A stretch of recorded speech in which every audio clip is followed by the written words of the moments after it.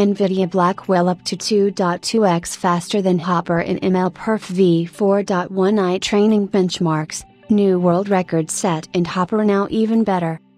NVIDIA has shared the first benchmarks of its Blackwell GPUs in MLPerf v4.1 AI training workloads, delivering a 2.2x gain over Hopper. NVIDIA demolishes the competition with Blackwell GPUs, delivering up to at 2.2x gain in MLPerf v4.1 AI training benchmarks versus Hopper back in August. NVIDIA's Blackwell made its debut in the MLPerf v4.1 AI inference benchmarks, showcasing strong performance uplifts versus the last gen Hopper chips and also against the competition.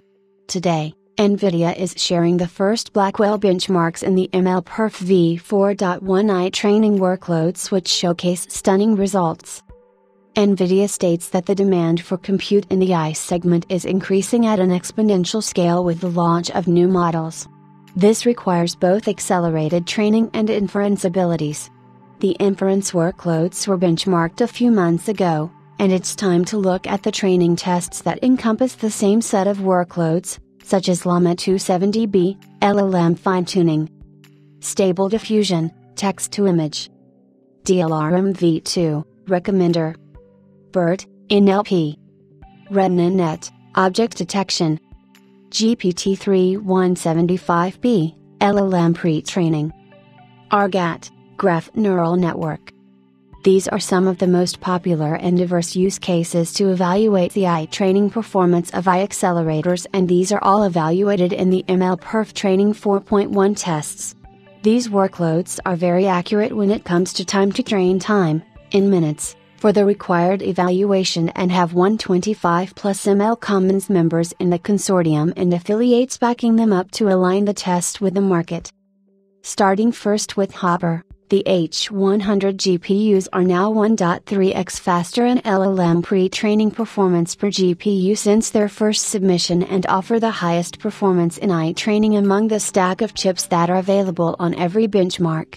With Hopper, NVIDIA also made the highest at scale submission for MLPerf using 11,616 Hopper H100 GPUs, and the chips are data center scale using NVLink, NVSwitch, ConnectX 7 SuperNIC, and Quantum X400 of switches.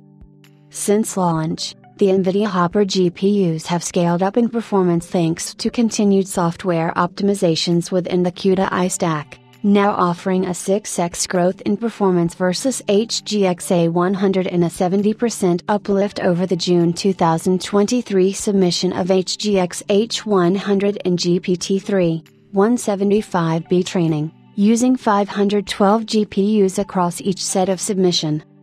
Rounding up its previous Hopper inference benchmarks, the chips offer 1.9x higher performance in Llama 3.1, 3x faster in TTFT with GH200 NVL32, and 1.5x faster throughput in Llama 3.1405b, which once again shows the continued innovations to the software stack.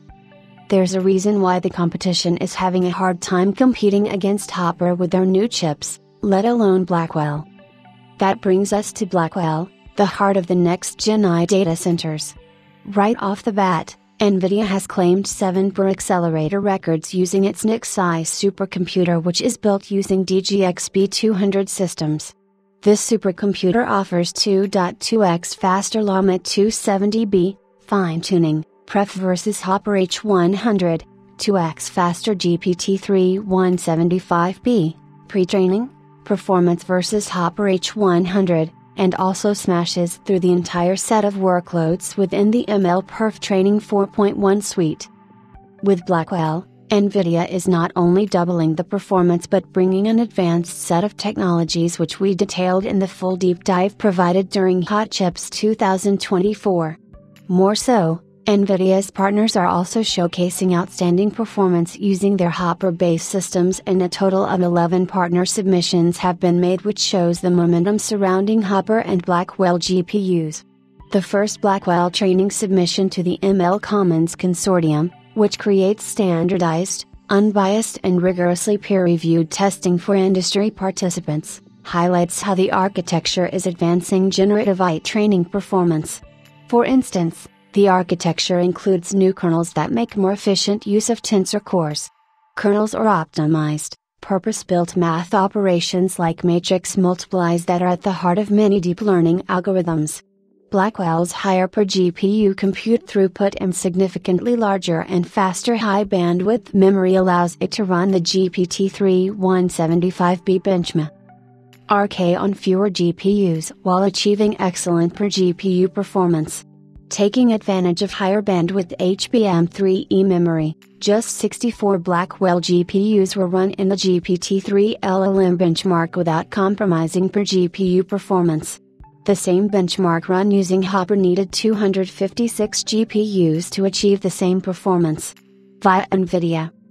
NVIDIA also sheds some light on its early cadence, which doesn't only mean building new chips as fast as possible but also validating them at the data center scale and deploying them faster at the supercluster scale. The Green Team makes it clear that they aren't just a company that makes chips, but they are a data center solution and system provider at scale. This is why the company has already shared its next gen AI roadmap featuring Blackwell Ultra as the follow up to Blackwell with more memory, 288GB HBM3E, and more compute horsepower in 2025. The Blackwell Ultra platform is expected to use the B300 naming convention. The follow up to that is in the form of Rubin, which comes in the standard flavor in 2026 with the 8S HBM4 and 12S HBM4 variants in 2027. Lastly, NVIDIA confirms that Blackwell is now in full mass production state, so expect it to result in record smashing revenue and performance figures in the coming quarters.